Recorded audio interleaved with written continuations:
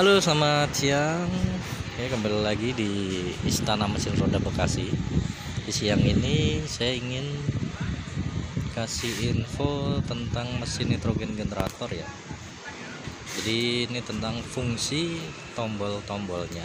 Oke. Jadi di bagian depan ini ada display layar dan sebelah kanan ini ada tombol tombolnya. Oke langsung aja.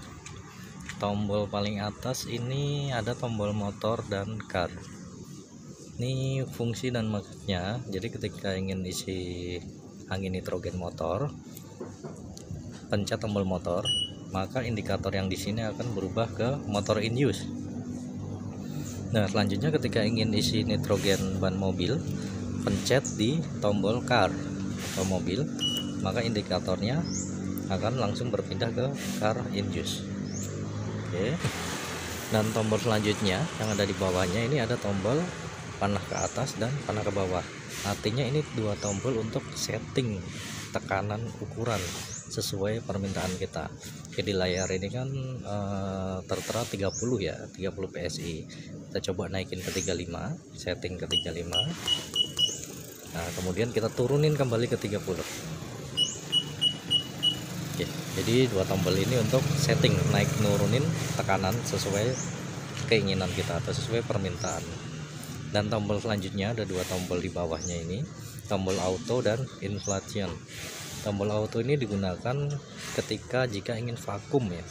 Jadi misal ada ban ingin ganti nitrogen tapi ban itu sebelumnya pakai angin biasa. Jadi kita pencet auto. Jadi ini fungsinya untuk vakum dulu, nyedot baru setelah angin yang di ban habis dia ngisi otomatis sesuai tekanan yang udah di setting. Dan selanjutnya ini ada tombol inflation. Tombol inflation ini fungsinya untuk langsung nambah langsung ngisi. Jadi ketika dipencet dia langsung ngisi. Berapapun tekanannya misal dicolok dia 25 sebenarnya sih bisa otomatis. Cuman ke tombol inflation ini kita pakai ketika ban tersebut kosong jadi konsumen datang banyak kosong. Nitrogen cuman kempes kondisi kempes. Terus kita colok otomatis kan sensor nggak bisa kebaca karena banyak posisi kempes. Nah lalu kita pencet inflation supaya nembak nitrogen ngisi nitrogen. Nah, kemudian selanjutnya tombol terakhir yang dua ada di bawah ini tombol pause atau cancel jadi tombol pause atau cancel ini kita pencet ketika suatu saat terjadi error di layar display. Pada saat ngisi atau vakum ternyata error. Nah itu kita pencet tombol pause atau cancel. Supaya kembali ke menu display utama seperti ini. Nah kemudian tombol terakhir ini ada tombol unit. Tombol unit ini fungsinya untuk merubah satuan. Satuan tekanan ya. Nah untuk awal ini kan kita di PSI nah kita pencet mau di bar, KGF atau MPA kita pencet tombol unit.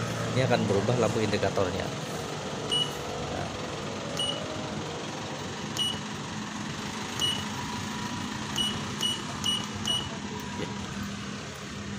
Oke jadi uh, fungsi tombol-tombol yang ada di mesin nitrogen ini seperti itu ya.